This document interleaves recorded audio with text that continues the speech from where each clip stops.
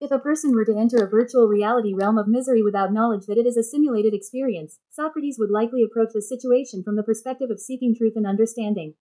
Socrates believed that knowledge and wisdom come from questioning and examining one's own beliefs and assumptions. In this case, he might argue that the person should engage in self reflection and critical thinking to discern whether the experience is real or simulated. Socrates would encourage the person to question their surroundings, beliefs, and the nature of their experience in order to arrive at a deeper understanding. Socrates might also emphasize the importance of moral growth and self improvement. If the person finds themselves in a realm of misery, he would likely encourage them to examine their own actions, thoughts, and values to understand how they contribute to their experience. Socrates believed that self knowledge and virtue were essential for leading a good and fulfilling life, so he might encourage the person to reflect on their own character and strive to improve it, regardless of the nature of the realm they find themselves in.